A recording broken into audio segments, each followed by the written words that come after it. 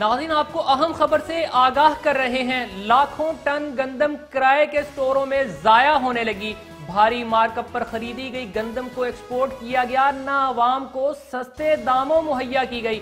وفاقی وزارت تجارت و خوراک اور صوبائی حکومتوں کی ناقص معاشی پالیسیوں کے باعث مختلف بینکوں سے بھاری مارک اپ پر گزشتہ دو سال سے خریدی لاکھوں ٹن گندم۔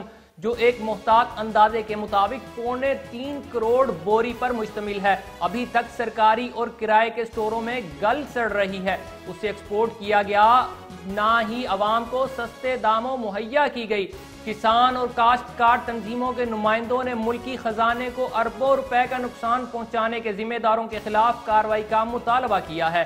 اسمبلیوں میں بیٹھے شوگر مافیا کو نوازنے کے لیے متعلقہ وزارتیں بارہ لاکھ ٹن چینی ایکسپورٹ کرنے کے لیے بہت سنجیدہ تھیں، جبکہ غریب، محنت کش کسان اور کاشتکار ملز مافیا کی چیرہ دستیوں کے ابھی تک شکار ہیں۔